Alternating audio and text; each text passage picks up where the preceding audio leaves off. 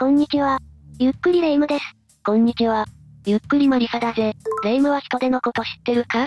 人手って海の中にいる、いつもじっとして動かないようなイメージの生き物だよね。水族館などでも手軽に鑑賞することができるし、海の生き物の中では身近な存在だと言えるよな。そうだね。だけど、よく考えたら人手って何なの？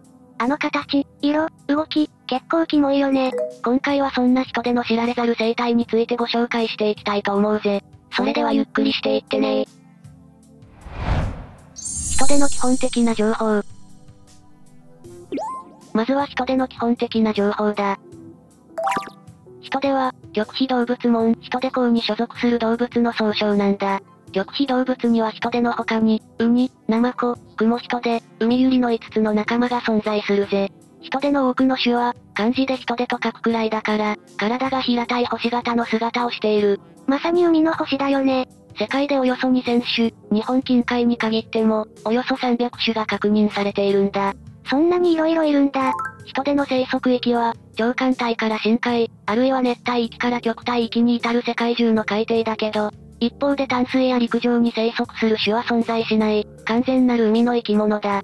なんで人手って名前がついたんだろう。他の漢字の表記で人手という和名もある。5本の腕を持つその姿を、5本の指を持つ人の手になぞらえたものになるぜ。なるほど。江戸時代までは、もみじ貝とも呼ばれたけど、この故障は現在はもみじ貝目などにとどまっている。英語ではスターフィッシュといい、この場合のフィッシュは魚ではなく、海の動物の意味を表しているぜ。あるいはシースター、海の星という意味。フランス語でもエトワールブメールという海の星という意味。またドイツ語ではシースターンという海の星など、多くの言語で星にちなんだ名で呼ばれているんだ。ぴったりの名前だね。人手の体は中央の板と、そこから放射状に伸びる腕からなっている。やっぱあれは腕なんだね。他の極秘動物と同様に構造は五放射総称だ。五放射総称というのは、中心から外側に向かって腕が放射状に伸びている形を指している。腕は5本であることが多いけど、例外もあって、そのほとんどは5の倍数の本数になっているぜ。へえ、口は下側にあり、この面を高速、上面を半高速と呼ぶ。高速の中央に口があり、そこから腕の先端に向けて補体口と呼ばれる溝が伸びている。補体口には無数の観測が並んでいるぜ。観測って極秘動物に見られる器官で、大量に多数あって、内部に液体が入って伸び縮みするものだ。運動や感覚などに関わる。先端が吸盤のようになっていて、体内では水関係に接続しているんだ。水関係っていうのは？極秘動物の体内に見られる構造の一つで、体内を走る管で、その内部には外から取り入れられた海水が流れるんだ。呼吸や循環などの役割を持っているぜ。人では観測を使ってゆっくりと移動したり、潮に流されないように岩などにくっついたり、餌を食べる時に貝をこじ開けたりするのに使うぜ。結構強そうだね。水関係は、人手の移動器官や循環器系に相当する機能を持っている。盤の口を取り巻くように環状水管があって、そこから架空での先端まで放射水管が伸びていて、内部は体液で満たされているんだ。環状水管から半高速に向かって一本だけ管が伸び、多孔板を通して海中と繋がっている。そのため、水関係には海水が取り込まれるけど、孔の内部にある多数の繊毛によりその量は制御される。ふむふむ。多孔板と環状水管をつなぐ管は石灰が付着して硬くなっていて、石管と呼ばれている。ほほう。さて、人手の中心から腕の先端までの距離を腹長。中心から腕と腕の間の部分までの距離を間腹長と呼び、一般的に人手の大きさは腹長で表される。人手の体は、表皮の下にある小さな骨片という小さな骨を隙間なく並べた内骨格に覆われている。骨あったんだ。骨片は炭酸カルシウムの結晶で、スポンジ状の多孔質、ステレオム構造をしている。骨片は筋肉とキャッチ結合組織というもので繋がれているけど、キャッチ結合組織は自由に硬さを変えることができ、これにより体を柔らかく動かすことも、硬直させることもできるんだ。すごー。キャッチ結合組織は、一度硬くするとエネルギーをほとんど消費せずに状態を維持することができ、その様からキャッチ、つまりとメガネという意味で名付けられた。これは大きな力をかけても変形しないぜ。どんな風に使うの？例えば、貝をこじ開けたりするときに体壁を硬くして、それを足場にして観測を使って貝をこじ開けたり、反対に体を柔らかくしてひっくり返ったり、狭い岩の隙間に入り込んだりすることもある。人手をひっくり返してしばらく観察していると、体をぐにゃりと曲げて戻ろうとしてたよ。反高速の骨片のうち一箇所だけ、大きな板状の骨がある。これには微細な穴があることから多孔板と呼ばれていて、水関係に海水を取り込む入り口の役割を果たしている。高速では、口から腕の先端に向けて放射状に補体板と呼ばれる骨が対になって並び、補体口と呼ばれる V 字の溝をなしているぜ。この構造のおかげでぐにゃぐにゃ動けるんだね。反高速の表皮にはたくさんの突起があるけど、これらは骨格の隙間から飛び出た対抗で被災というぜ。被災はガス交換の役割を担うと考えられているけど、その数は種によって異なる。また、被災とは別に、骨片が変形したトゲなどを持つ種もいる。色もいろんなのがいるよね。反高速の表皮は鮮やかな色や模様を持つものも多く、赤系が特に多くなっている。これは水中での保護色と考えられているぜ。人手ってどうやってご飯食べてるんだろう。人手の消化器官は短いけど発達している。口は盤の中央に位置しており、ごく短い食道を通して胃につながるぜ。胃は、糞門胃と呼ばれるものと幽門胃と呼ばれるものに分かれる。ある種では糞門胃が体内で蛇腹のように畳まれており、捕食する際にはこれを反転させて口から出して口外接触することがある。え？どういうこと？人では海底にいる貝や魚の死骸、カニなどを食べる肉食動物だけど、餌を見つけるとまず覆いかぶさる。そして体の下にある口から胃袋を出して、餌を胃袋に入れて溶かしながら食べるんだ。口から胃袋を出す？先に胃袋を出してしまえば、本来ならば口に入らないような大きな餌や、岩の隙間や砂の中に隠れている小さなものまで餌のサイズに関係なく食べることができるよな。すごいこと考えたね。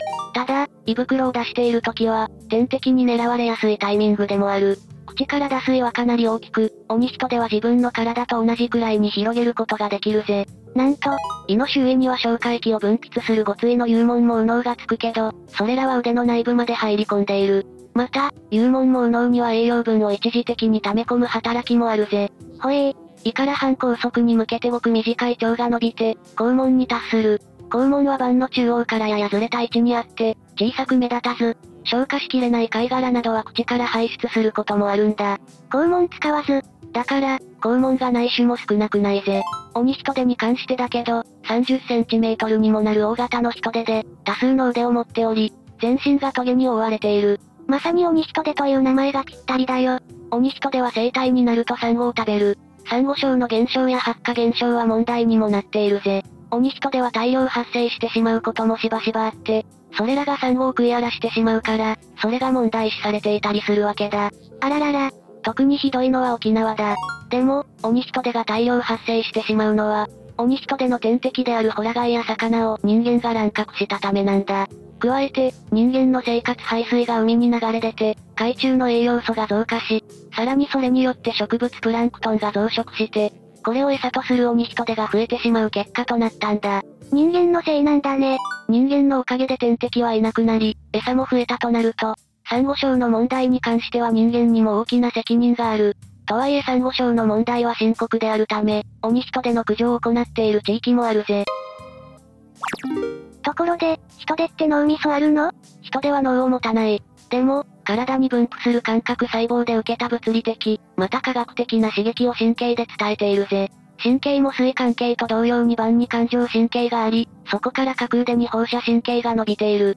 そうだったんだ。また、腕の先端には、眼点と呼ばれる器官がある。眼点は複数の感覚細胞が集まる複眼のような構造になっていて、解像度は低いけど、光の方向を認識し、おぼろげな像として捉えられると考えられている。腕の先に目があるとは、とある実験では、鬼人では5メートルほど離れた場所にあるリーフを見つけ出している。また、人では匂いで餌を探り当てることが知られている。匂いの感覚細胞は体表全体に分布していて、実験では餌の場所だけでなく、好き嫌いも判断することができるという。鼻は全身。人では嗅覚の他に、それなりに発達した触覚、味覚も持ってるぜ。それはびっくりだよ。人手の繁殖方法。人手の繁殖方法を見てみよう。実はかなり優秀な方法でその数を増やしてきたんだぜ。え？えー、知りたい知りたい。人手の多くの種類は、海水中に卵と精子を放出し、受精卵から幼生、そして人手となっていく。それって海にいる魚と同じ増え方じゃん。どこが優秀なの？この方法にも何種類かある。通常の、オスとメスで増える種類、つまり私有遺体の人で、オスだけ、メスだけでは増えることができない。オスとメスの両方がいて増えることができるんだよね。そして、一匹で、オスとメス両方の役割を持っている種類、つまり私有動体の人でも存在する。一匹いれば増えていくことができるってこと？そうだ。さらに、メスしかいない種類もいる。卵だけで増えていくんだ。嘘でしょ？これは単位生殖と呼ばれている。精子のくっついていない、未受精卵の状態なのに人手になれる不思議な方法だ。これらに加えて、さらに分裂という無性生殖という繁殖方法も人では手に入れているんだぜ。有性生殖3種類に加えて無性生殖までできるの？生き物の世界において子孫を繁栄させることについてかなり優秀だろ。また、分裂といっても、別の捉え方もある。人ではたとえ半分に切断されたとしても、腕が一本しか残っていない状態になっても、元の完全な形に戻ることができるんだ。マジか。そうすればおのずと個体がクローンとして増えるよな。こういった恐るべき能力で人では増え続けるんだ。すごいを通り越して、ちょっと怖いぐらいだよ。また、人手から生殖腺刺激ホルモンが見つかっている。生殖腺刺激ホルモンには、卵胞刺激ホルモン、黄体形成ホルモンなどがあり、生殖器官、精巣、卵巣を刺激することで、性ホルモンや精子、卵子の生成を促す働きがあるんだ。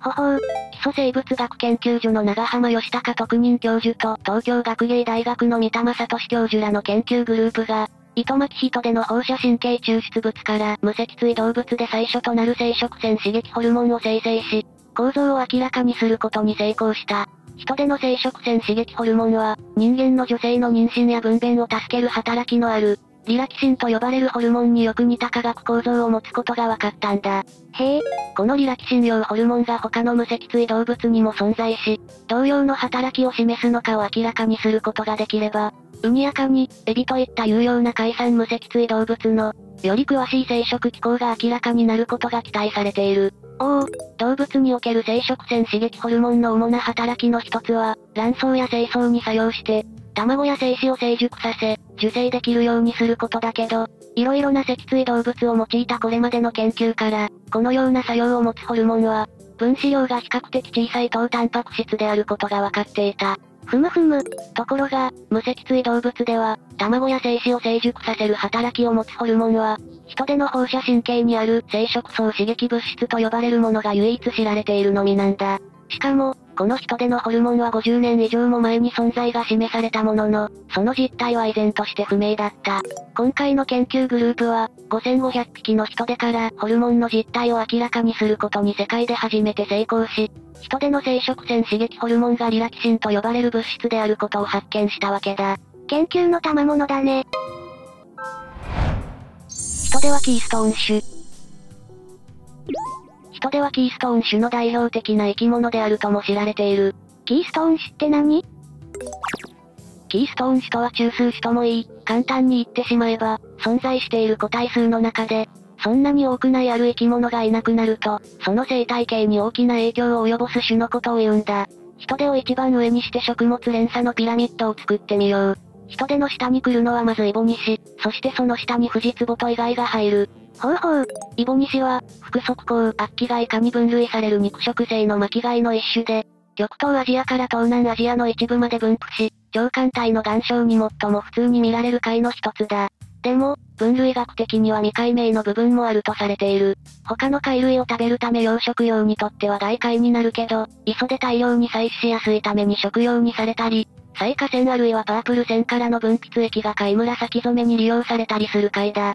富士壺は富士山上の石灰質の殻を持つ固着動物だ。大きさは数ミリメートルから数センチメートルほどになる。甲殻類、富士壺は目に分類され、19世紀初めまでは、貝などと同じ軟体動物であると考えられていた。違うの？エビやカニなどの甲殻類と同じく、自由遊泳性のノープリウス幼生として孵化することが、1829年、J.V. トンプソン氏により明らかにされて、甲殻類に分類されるようになったんだ。19世紀半ばには、チャールズ・ダーウィン氏がフジツボの系統的な研究を行い、フジツボの分類学的な基礎を築いたとされている。意外は？意外化に分類される二枚貝の一種だ。外見は同族の外来種紫以外に似ているけど、意外は日本沿岸の在来種で、より大型で殻も厚いことや、拡張が鷲花状に曲がること、表面が青みを帯びないことなどで区別できる。また紫以外は波が穏やかな内湾に多いので、生息域でも区別することができるぜ。人では海底の岩場に住みながら、こういった自分よりも小さな固着生物を中心に食べている。ピラミッドの一番上が人でね。生態系というものは自然災害などでも突然に崩れたりするものではあるけど、ある日突然人手が絶滅したらどうなるだろうか。まず考えられるのは、人手が消えたことにより、天敵がいなくなったイボニシがどんどん増えて海底の岩場を占領するよね。それが、セオリー通りにはいかないんだ。それは、イボニシの捕食速度が、フジツボト以外の増殖速度に追いつかないからだ。そしてどうなるかというと、フジツボト以外が海底の岩場を占領し始めて、やがてフジツボト以外を捕食するはずのイボニシの居場所がなくなっていく。そして時期に姿を消してしまうんだ。そうなんだ。さらに言及すると、イボニシは意外よりもフジツボの方を好んで食べると言われている。そうなると、意外の増殖スピードに拍車がかかる。これによって同じレベルにいるはずのフジツボも絶滅するという、生態系の崩壊が起こるんだ。フジツボが絶滅するということが、人手がキーストーン種であると言われるゆえんとなっているぜ。なるほどね。また、絶滅危惧種は人間による乱獲が原因で出てきてしまうこともある。その例がラッコで、毛皮を目当てに乱獲されていた。ラッコもまたキーストーン種だ。人間により生態系が破壊されるのなら、どんな生き物でもキーストーン種になりうるよね。さて、キーストーン種という名前の由来だけど、古代のアーチ型の橋を想像したとき、昔の橋はほとんどが石橋で、その石組みを安定させるために、石橋の真ん中にくさび型をした石をはめ込む。このくさび型の石をキーストーンと言うんだ。キーストーンがなくなってしまうと石橋がガラガラと崩れてしまうね。それを生態系になぞらえたわけだ。名付けたのはロバート・トリート・ペイン博士という人物。ワシントン大学で、助手時代に、ヒトデに焦点を当てた生態系の変化について研究を行った。1966年頃、雑誌にそれを発表して、1969年にキーストーン種という名前を提唱したぜ。わかりやすいネーミングだよ。2013年には自然と人間の共生をテーマにした、コスモス国際賞を受賞している。人ではキーストーン種として認められた最初の生き物だ。生態系を崩さないためにも、まずは人間が原因となるキーストーン種の誕生を防がないといけないな。人手と人間の関わり。それでは、人手と人間の関わりについても見ていこう。人手は、実は人間にとって厄介者なんだ。そうなの？人手と人間の関係で問題になるのは、主に漁業被害だ。人手はたびたび大発生を起こし、海産資源に食害を与えている。1982年のアサリ養殖の被害など、ホタテやカキなどの貝類をはじめとし、時には刺し網にかかる魚にも及ぶ。また、底引き網に大量の人手がかかって、漁具が壊れるなどの被害を与えることもあるようだ。あちゃー。でも、その人手をうまく活用していこうという動きもあるぜ。様々な商品を展開する企業が、人手を科学する、というキャッチコピーを掲げる北海道環境バイオセクターだ。人手を科学する人手が鳥酒や、消臭洗剤といった製品に生まれ変わるというんだ。そもそも、漁網にかかる人手の量は、北海道だけで年間約1万5000トンにもなる。人手がホタテなどを捕食することによる漁業被害も深刻化している。また、漁具にかかった大量の人手の廃棄処分も、自治体や漁業者にとって大きな負担となっている。そうだよね。とはいえ、人手は人間に害をもたらすだけではない。漁業者を悩ませる人でも、やり方次第では宝の山となる可能性を秘めているというわけだ。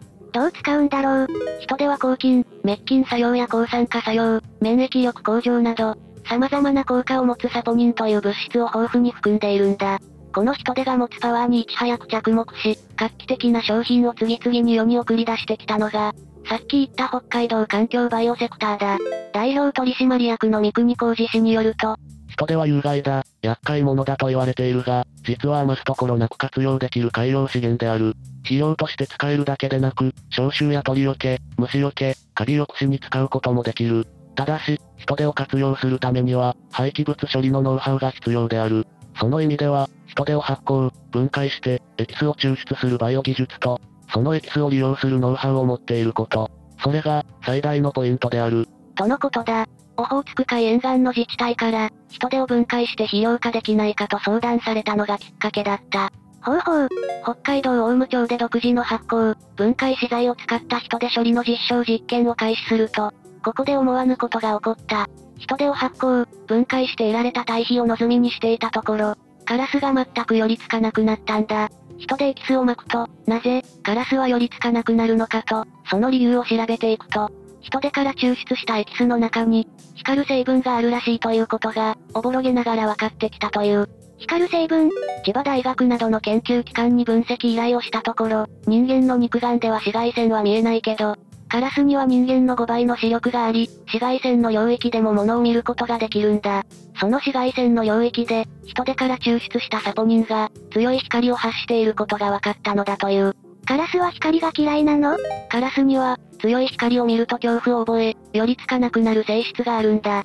これまでカラス対策は、威嚇音やフクロウの鳴き声、光を反射する CD を吊るすなど、様々な方法で行われてきたけど、カラスは時期に慣れてしまうので、あまり効果がなかった。ああ、CD をぶら下げてたのは光でカラスを撃退しようとしてたのね。それも慣れちゃうんだ。でも、人手から抽出したサポニンが発する反射光は、カラスにとって大変な脅威となることが分かったんだ。人手の研究がもたらしたものは、それだけではない。なになに人手から抽出したエキスを生ゴミに振りかけると匂いが消え、ウジも湧かなくなったんだ。カラス酒だけでなく、害虫酒や消臭までできちゃうの？ただ害になるだけじゃなくて、人間の役にも立ってくれるということが分かったんだ。ところで、水族館で触れ合ったり、鑑賞用に飼育したりすることはあるだろうけど、人手って食べることはできるの？日本では主に、熊本県の天草地方で食べられている。冬から初夏にかけて、マヒトデという種類が食べられる。食べる部位はウニと同じで中身だ。え？ウニみたいに美味しいの？人手にはさっき紹介した、生活には役に立つサポニンという物質が含まれていて、これには苦味の成分が含まれているんだ。そのため、生で食べようとするものならば、口が痺れるくらい苦いのだとか。じゃあ、どうやって食べるの？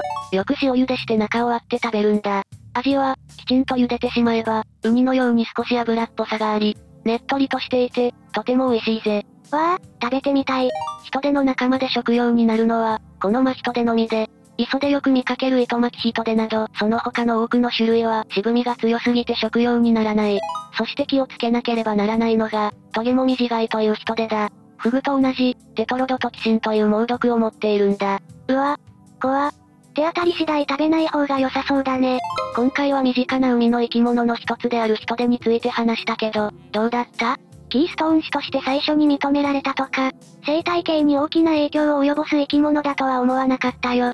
人間に害をなす生き物でもあり、役に立つ生き物でもあり、食べて美味しい生き物でもあったな。今後もこの個性的な人手という生き物に注目だね。というわけで今回の動画は以上だぜ。